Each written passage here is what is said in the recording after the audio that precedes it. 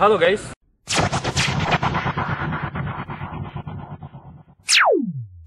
Oke, di video kali ini kita belajar skill sepak bola. Seperti yang kalian tahu, saya selalu suka menggabungkan beberapa skill hingga menjadi gerakan yang menurut saya terlihat keren. Seperti ini contohnya.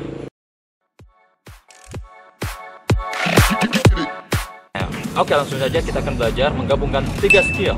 Yang pertama, step over.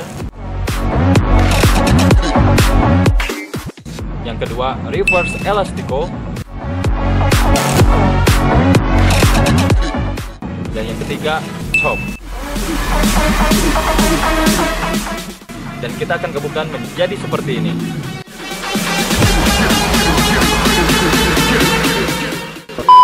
Sebelumnya jangan lupa untuk klik tombol subscribe agar tidak ketinggalan video terbaru seputar skill sepak bola, futsal, soccer, dan freestyle football di channel ini. go.